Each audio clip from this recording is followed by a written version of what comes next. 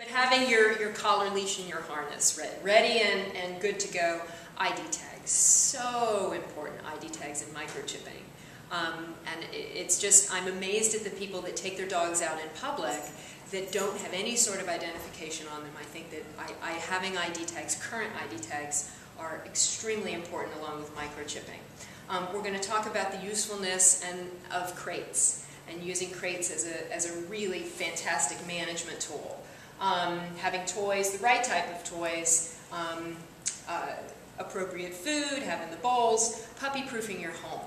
So when you're bringing a new puppy or a dog into your environment, it's setting them up for success by having your environment, uh, having your environment work for you, not against you.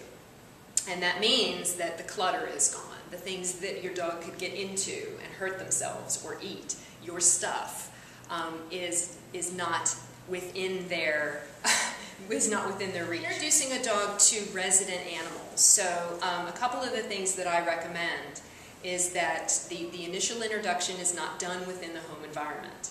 And when you're doing the introduction, it's done outside at a neutral location. The dogs are on leash, and there's plenty of high-value treats there. So that from the moment they see each other, good things happen to each dog. Scent exchange, I want to mention that. And that's something that I found to be really successful in helping animals to get used, used to each other. If you have the ability to um, have your dog, your resident dog, uh, wear a bandana for a couple of days. The dog you're planning to adopt should be wearing, if you can, have them wearing a, a collar or a bandana and you can switch them right before they meet. So that when they come up and meet each other, they already smell familiar. You can do that with beds as well. If you can exchange the dog's beds so that they have an opportunity to smell each other uh, before they meet, um, that can sometimes have them, the, the, initial meeting can go a lot smoother because scent is something that's so important to For cats and dogs? I mean, yeah, so um, uh, I think it's, it's the, the, the best suggestion is that we want to make the cat feel safe. So if the cat feels safe, the cat won't run. And if the cat doesn't run, the dog doesn't chase. The dog won't chase it.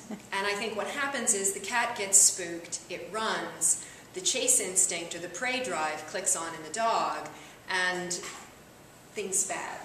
bad things can happen at that point. Um, so it's, it's management. It's um, maybe putting up baby gates so that the cat has a place that the dog cannot get to.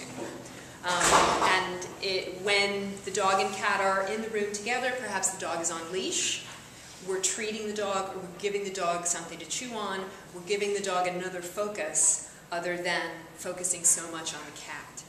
And it depends on the individual dog. Sometimes, sometimes it goes really smoothly, they adjust really well, um, and other times we need to help the puppy or the dog adjust to the fact that the cat's not a toy.